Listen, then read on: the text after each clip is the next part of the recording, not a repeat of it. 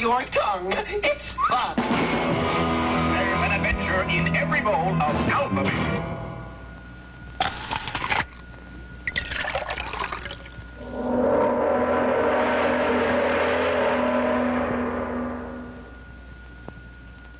Food, to me anyway, is one of the great pleasures in life. I love it. I love to eat. I like to fix big dinners for my friends and have a good time and eat.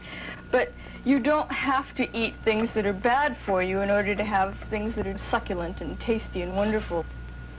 If you haven't uh, tasted a lot of things in their natural state, you should run right out and do it because it's great. I mean, it's really fantastic. And it's, it's a shame that so many people miss out on that because of so-called convenience foods. The character of our food supply has changed considerably in the past 25 years. Until 1950, we had essentially an agricultural food supply. That is, a situation where food was grown by the farmer, taken to the uh, market, bought unchanged by the housewife, and cooked and prepared for a family.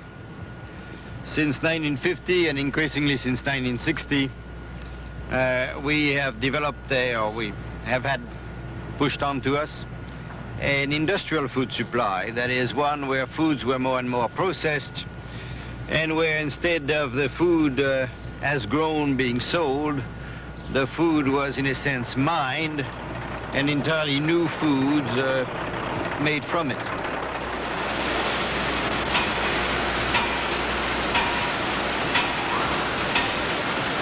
Processing of food itself is not a new idea. But new methods of processing are changing our eating habits with factory foods in bewildering numbers.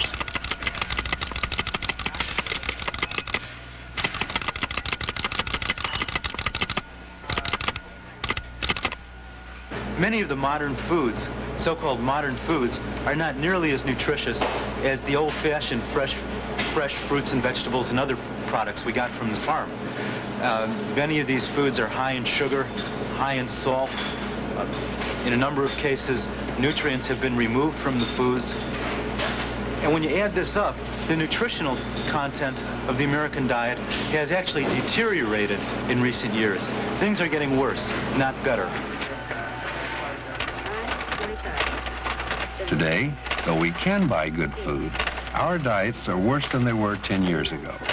Too many of us have health problems because we eat poorly. Too many non-nutritious foods, too few vitamins and minerals.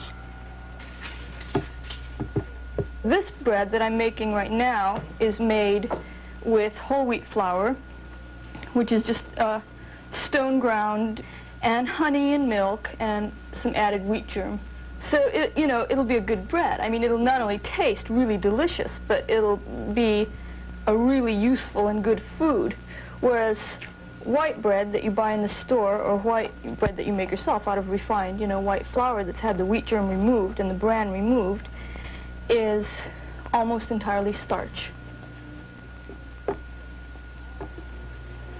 As food is processed, nutrients are usually removed. The milling of grain is a glaring example. Most of the minerals and vitamins in a wheat kernel are on the surface and the bran and outer layers and in the growing center called the wheat germ. Flour made from the complete wheat kernel, whole wheat flour, contains these nutritious parts of the wheat. But most flour is ground further to make white flour. In making white flour, the wheat germ and bran are removed, and the major portions of many minerals and vitamins are lost. Part of the protein and most of the fiber are also lost. The bran and outer layers are sold for cattle feed, and our well-nourished pets get the wheat germ.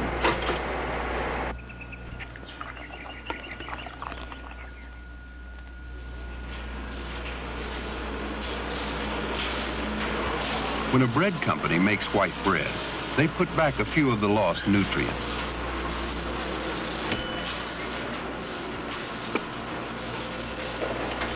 Advertising then tells us how good the bread is for us because it is enriched.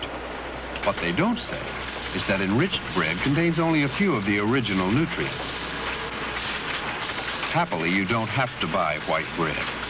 Most stores have a variety of nutritious whole grain breads. There's supposed to be more wheat in a whole wheat than in bleached white flour, yeah.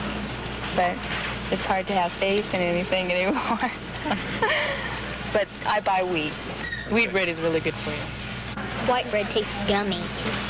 If you get a wheat bread like this, well, you get more vitamins, more nutrition, more uh, everything in it than you would if you bought a white bread, which is blah. It's nothing. They've taken everything out. Many states don't even require enrichment for some flour products. The nutritional loss from snacks, pastries, and donuts may be almost total.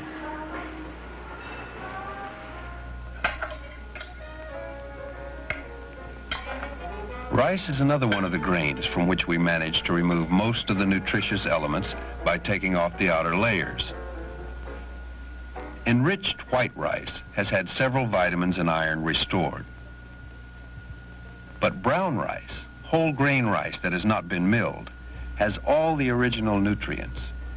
The rice which advertisers urge us to eat is even less nutritious than white rice. After making instant rice, food companies attempt to make up for the loss of nutrients by dusting the grains with the vitamin powder. Such highly processed foods are increasingly replacing more nutritious foods in our diet. But yeah, I like things like this, like ham, like all these hamburger helper things and Rice-A-Roni and all that. It tastes good, and I can just fix it real fast without having to uh, to worry when I get home from work. What am I going to do? It just cooks up in five minutes. I feed it to everybody, and that's it. We usually buy stuff that tastes good and stuff that we, we like the taste of, and I think that in the long run it probably works out all right. It's all food, isn't it? Because of uh, possible long-term consequences to our health, I think the more we uh, hang on to fairly unprocessed foods and the less we let our food supply be invaded by over-processed foods, the better it would be for all of us.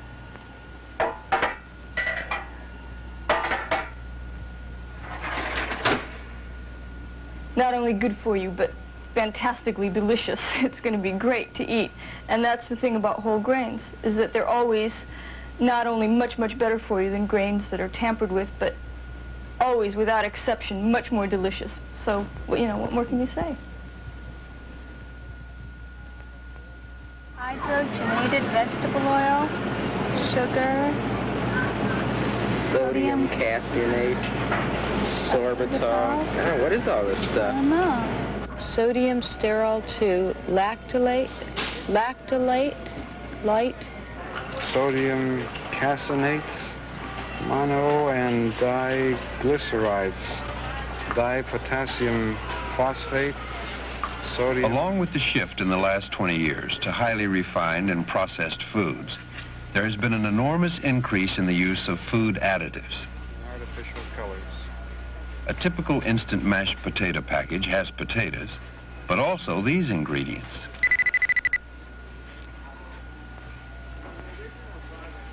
A breakfast cake has sugar, flour, water, and shortening, but also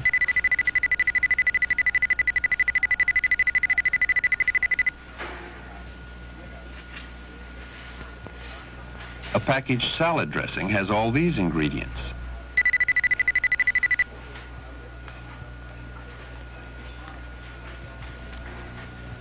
Are dyes, buffers, bleaches, emulsifiers, preservatives, flavorers, moisturizers, and so forth. Whipped cream doesn't have milk in it or anything. Thought whipped cream is supposed to have milk in it. One reason companies like to use these additives is because it helps sales and profits. Using preservatives, emulsifiers, and stabilizers, food manufacturers can concoct completely new products like pudding cups. BHA and BHT are added to potato chips, so packages can sit on the shelf for three months without going stale. Artificial flavors are used in ice cream because they're much cheaper than natural flavors. caramel coloring makes white bread look like whole wheat bread. Egg bread is dyed yellow to make it look rich in eggs. And a frozen breakfast drink imitates real orange juice with the aid of an orange dye. It's all imitation of the real thing, let's face it. And there's nothing, you know, that's as, that's as beautiful finally as the real thing.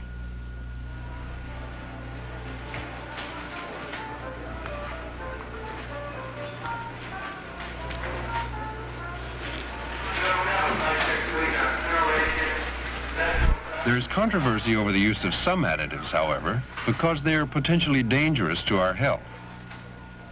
It's not necessarily the case that additives are always bad. That certainly isn't true. Many additives serve useful purposes. For instance, the addition of vitamin D to milk is, is very useful. Adding iodine to salt has been very useful in preventing goiter. However, we have to be very careful about additives because if it turns out that any one additive turns out to be very dangerous, that could mean harm for a tremendous number of people. And down through the years, many additives have been found to be dangerous. And most of these have been artificial colorings. So I think if there's any, any worry, we should be worrying about artificial colorings. They've been found to cause allergic reactions, cancer in animals, and damage of several uh, internal organs like liver and heart in animals. One controversial food dye that was once widely used is red number two. It was the most common of all food dyes. All of us consumed it. Yet it has now been banned because it was found to be dangerous to our health. Other red dyes have been substituted for it. Hundreds of foods are colored with red dyes. The dyes make them look good. They help sales.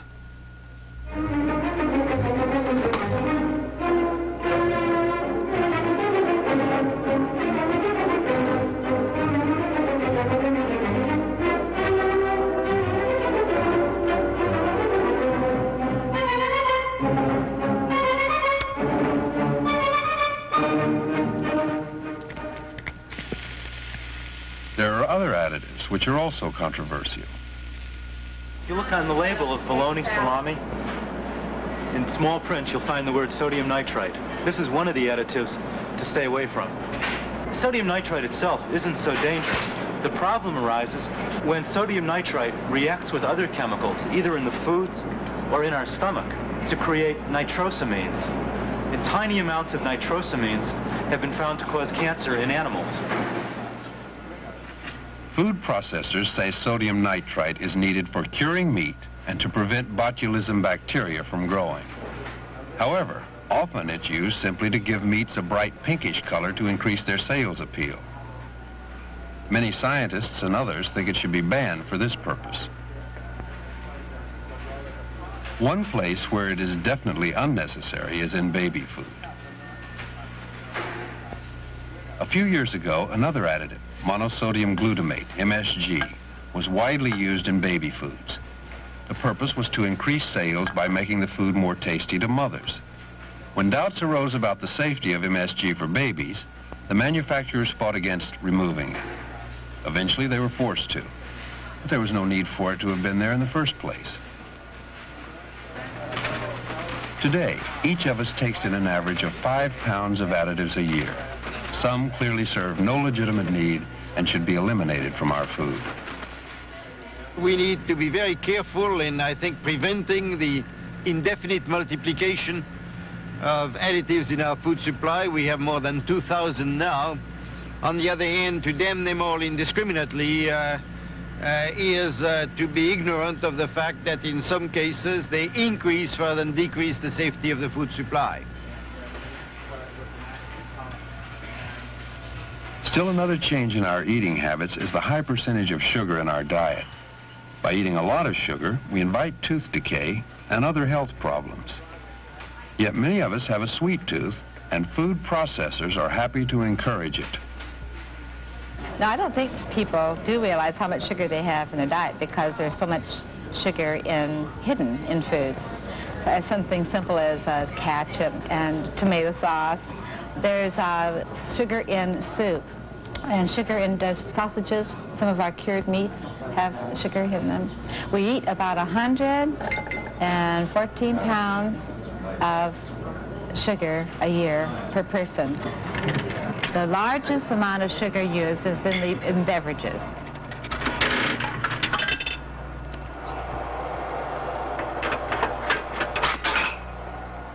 A 12-ounce bottle of America's favorite soft drink has seven, eight, nine teaspoons of sugar.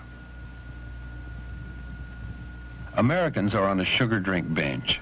We annually consume more sugar drinks than milk and fruit juices combined.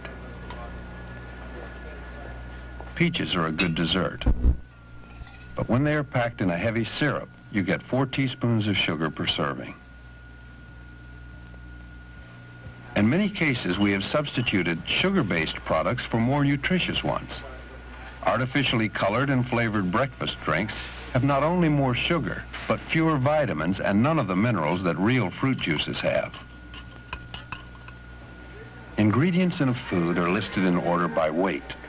If sugar is first, it means it's the largest item in the food.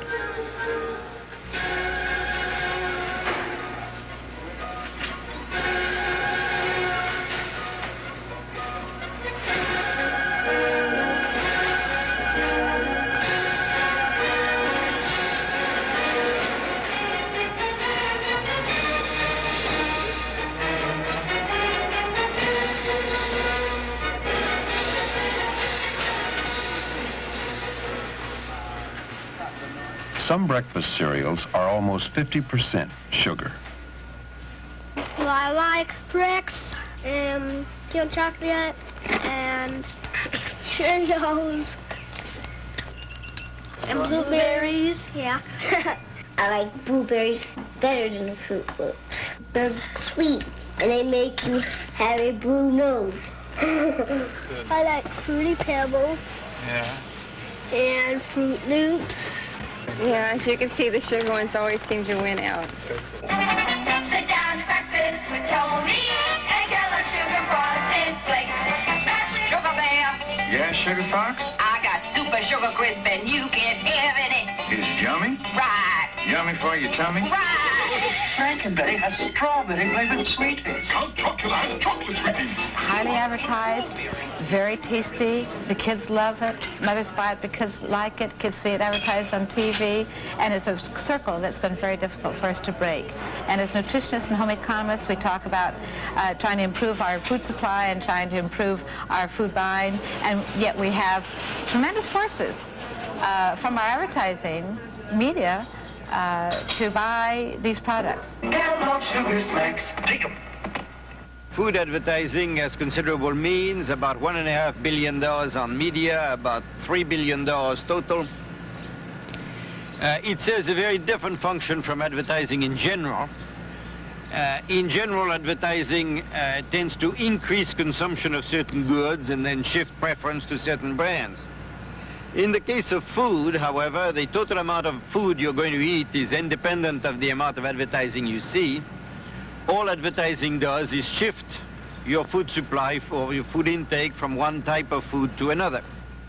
We can think of foods in four different groups with nutrition declining from group to group. And the first group would be vegetables, fruits, eggs, milk, cheese, meat, and whole wheat products. And the second, white bread, potatoes, macaroni products, some of the better breakfast cereals, and soups. And the third, and now nutritional value is going down rapidly, sugar-coated breakfast cereals, some snack foods, cake mixes, and so forth. And in the fourth, candy, soft drinks, and many snack foods. However, if we ate these foods in proportion to the advertising given to them, this is how much we might eat from each group.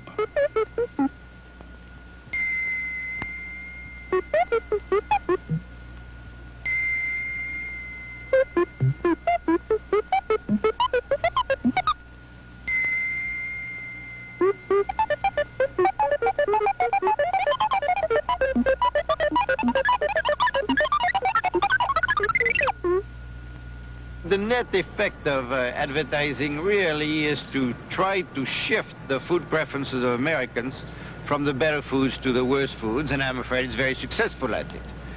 Uh, all the data we have on uh, nutrient consumption by the American people show that since 1955 there has been a real deterioration uh, in the food supply as consumed, and I think advertising is very responsible for it.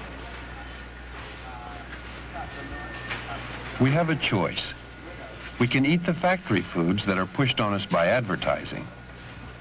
Or we can save money and eat better with more unprocessed natural foods. Oh, beautiful. Plates? Yow. Here, let's uh, mix it up a little. Juice. There you are, Robin. This is a beautiful meal. Oh, um, Oh, Oh, those colors.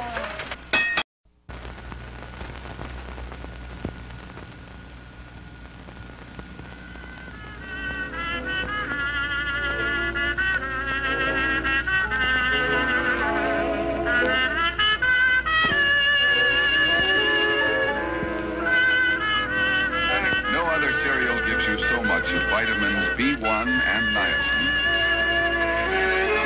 A wonderful breakfast. So start them out warm and happy and satisfied.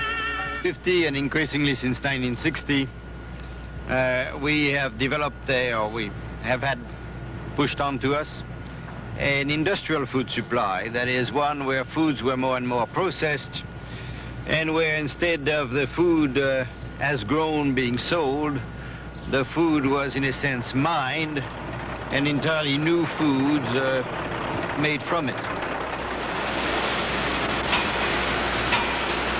I mean, it's really fantastic. And it's, it's a shame that so many people miss out on that because of so-called convenience foods. The character of our food supply has changed considerably in the past 25 years.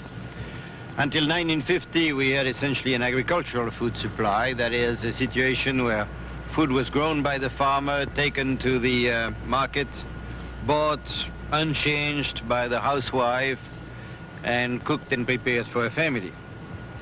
Since 1950,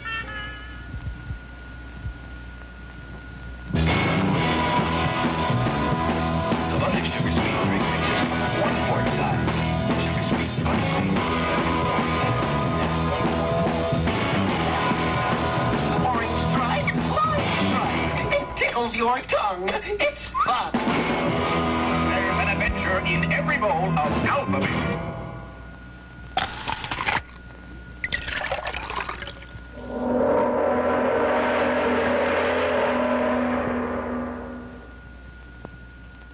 Food, to me anyway, is one of the great pleasures in life. I love it. I love to eat. I like to fix big dinners for my friends and have a good time and eat.